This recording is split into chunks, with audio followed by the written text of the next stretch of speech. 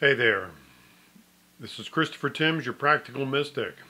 Let's take a couple minutes and talk about special interests, particularly special interest groups.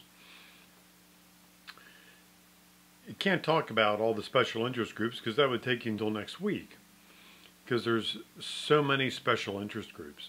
Everybody wants to be a special interest group. You have gay rights, lesbian rights, transgendered rights, you have women's rights, you have men's rights, you have Black Lives Matter, have Red Lives Matter, I guess, you have Yellow Lives Matter, and how about Reptilian Lives Matter? Does Reptilians Lives Matter? Um, and you have animal rights, you have everybody's got their special interest groups. And has no one realized that as we apply ourselves to the canvas of making everything a special interest group, then nobody is a special interest group. And everybody's vying for special attention, and therefore nobody's paying attention to each other because everybody's got their myopic vision on their agenda, their special interest group, their special life situation that they want to have paid special attention to. So I'm not for any of that. I'm not for Black Lives Matter because Black lives do matter, but white lives matter, red lives matter, yellow lives matter. My dog's lives matter. You know, I'm not for women's rights or men's rights or gay rights, lesbian rights, tra transgender rights. I'm for human rights.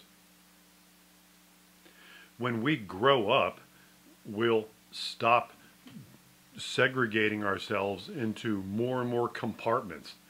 It's all part of the military strategy you know, set out by the systems of the patriarchy that we're still caught in uh, to divide and to conquer.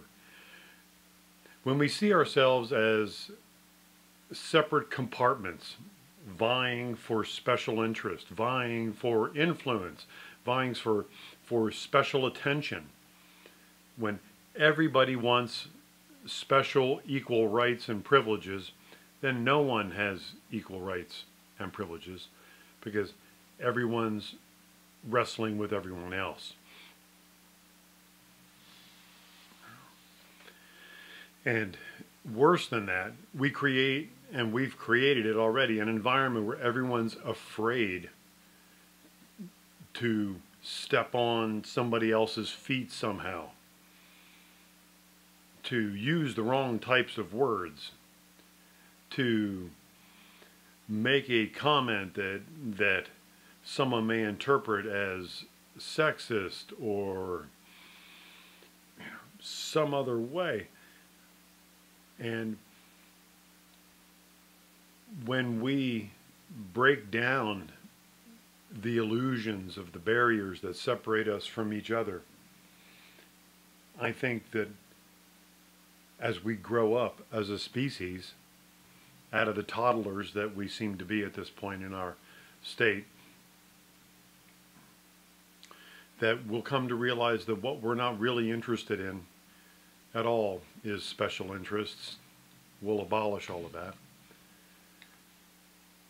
We'll start off with perhaps human rights, and then we'll realize that animals, all animals, should have the same rights as humans. Plants, insects, everything should have the same rights. And that our planet itself should have the same rights as you and I. All life is sacred. Nothing is special. No one is special. All life is sacred. All life, without exception,